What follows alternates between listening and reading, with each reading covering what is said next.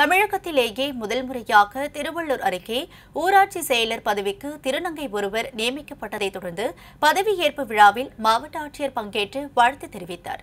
பூந்தமல்லி ஊராட்சி ஒன்றியத்தைச் சேர்ந்த அன்னம்பேடு ஊராட்சி செயலாளராக இரண்டாயிரத்தி பத்தாம் ஆண்டு ஜூன் பதினைந்தாம் தேதி பணி நியமனம் செய்யப்பட்டவர் சந்தன்ராஜ். அவர் நிர்வாக காரணங்களால் பணி மாறுதலின் கொசவம்பாளையம் ஊராட்சி செயலாளராக இரண்டாயிரத்தி பதினைந்தாம் ஆண்டு பிப்ரவரி பத்தாம் தேதி முதல் பணிபுரிந்து வந்தார். பிறகு சந்தன்ராஜ் இரண்டாயிரத்தி பதினைந்தாம் ஆண்டு மே எட்டாம் தேதி முதல் பணிக்கு வராமல் இருந்து வந்தார். தற்போது அவர் ஜே தாட்சாயினி என்ற திருநங்கையாக மாறியுள்ளார். இந்நிலையில் அவர் திருநங்கையாக மாறும் உணர்வுகளால் ஏற்பட்ட மன தடுமாற்றத்தால் பணிக்கு செல்லாமல் நின்றுவிட்டதாகவும் மீண்டும் ஊராட்சி செயலர் பணியை தனக்கு வழங்குமாறும் அரசுக்கு விண்ணப்பித்திருந்தார். அதன் அடிப்படையில் பாலின மாறுபாடு காரணமாக உடல் ரீதியான மாற்றம் மற்றும் அதன் தொடர்பான இடர்பாடுகளை கருத்தில் கொண்டு மனிதாபிமான அடிப்படையில் தற்போது திருநங்கை ஜே.